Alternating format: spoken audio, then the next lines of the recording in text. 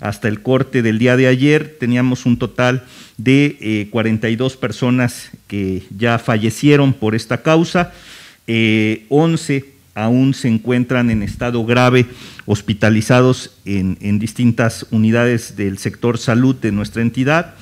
Ya también se han estado a cabo, se, han estado llevando a cabo, señor, eh, operativos por parte de la Dirección de Prevención de riesgo sanitario y protección civil en estos municipios para eh, asegurar eh, eh, bebida de estas características que se estaba comercializando en los mismos? Hay muchos lugares, sí, claro que sí.